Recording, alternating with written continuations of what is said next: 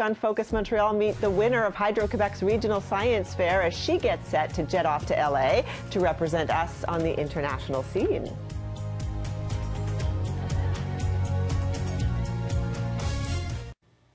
Well, budding scientists had the chance to show off some of their latest research at John Abbott College recently. The high school and CEGEP students presented their science and technology projects to visitors. The participants were competing for awards with a total value of $30,000. 16-year-old Alexandra Cohen of St. George's School won the top prize for her research entitled "INGAP Circles Around Diabetes. The science fair is organized by the Educational Alliance for Science and Technology, and it was hosted by John Abbott College. The idea is that to encourage the, the students to get involved in science, stay involved in science, recognize what they can do, and uh, reward them for what they have done. And Alexandra now goes on to represent Canada at the International Science and Engineering Fair in Los Angeles, and she joins me now. Thanks for coming in. Thanks for having me. How exciting is this? Oh, I'm so excited. the international competition is something that's been a dream of mine for a while now, and I know it's going to be an amazing experience. It's in Los Angeles in May, and it's about 1,600 people from over 70 countries. So wow. it's going to be such a learning experience as well. We have all these symposiums, and there's a panel with question and answers with um, Nobel Prize winners. Wow. Which is going to be great. And How? I'm just excited to meet all the different people there. And we all have this common passion for science, so it should be really interesting. How motivating is that? That's so Absolutely. exciting. Tell me about this project that you had, this INGAP Circles Around Diabetes. What was it about and why did you want to do this? Okay, well, my project is about a potential new treatment for diabetes.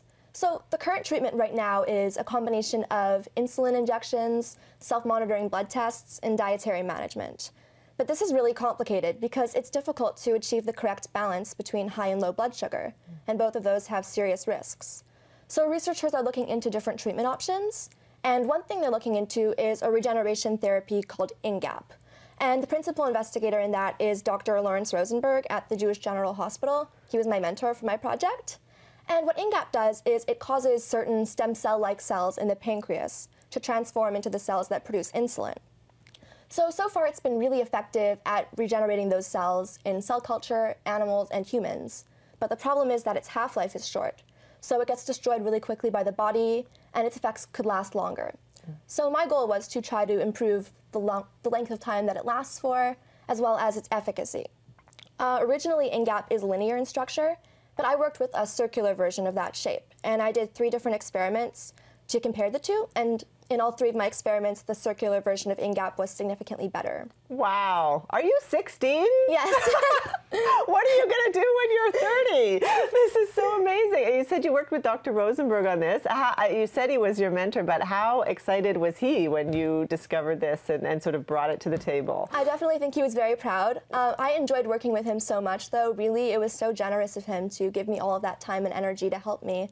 And he also has an amazing team of researchers in his lab who trained me in all of the techniques and supervised me during my research and were there to answer any questions. So wow. I'm very lucky. There was a cash prize with this, uh, some money, but also the trip to Los Angeles and a scholarship. And uh, you're pretty sure you're going to take advantage of one of the two scholarship opportunities, but one you're going to take, right? Yes, exactly. I have a scholarship for $3,000 to McGill University, which is very exciting for me because I want to go to medical school there eventually. So I'm very excited to take advantage of that in the future. I think we want you to go to medical school there, Alexandra. I have a feeling you can make a big difference. What is the, I mean, you're at St. George's now. Yes. They must be so proud of you for this. Oh yeah, the response has been great there, and I'm so lucky to have had the support of my school and my amazing science teachers especially. Mm -hmm. What is the future for you? I mean, you're 16, McGill is in the future, but what do you have, I mean, you've got LA coming up. What do you have going on after that? Well, I mean, I definitely plan on continuing to do research with INGAP and with what I've been doing for this project. So I'm hoping to return to the lab this summer and continue with that. And on a more long-term basis, I mean, I want to be a doctor. And I also, of course, have this love for research that has really been inspired more by this project. So I hope to do both in the future and combine my love for medicine and working with people and my love for research. Mm, it sounds great. Why diabetes? Why was this a thing that sort of touched you and, and you wanted to work on? Well, I had two main goals in my project. The first one was I really wanted to improve the quality of the lives of people with chronic illnesses in general. And then I also had this big interest in stem cells because in ninth grade in my science class at St. George's, we had a presentation on stem cells, and I was just fascinated by the way they can actually regenerate damaged tissue and treat diseases.